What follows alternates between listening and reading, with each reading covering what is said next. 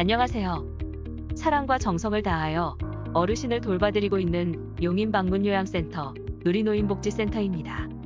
저희 누리노인복지센터는 오랜 경력을 자랑하는 요양보호사님께서 거동이 불편하신 어르신들을 위해 방문 요양, 방문 목욕 서비스를 제공해드리고 있습니다.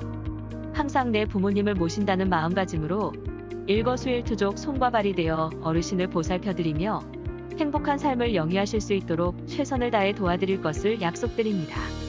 감사합니다.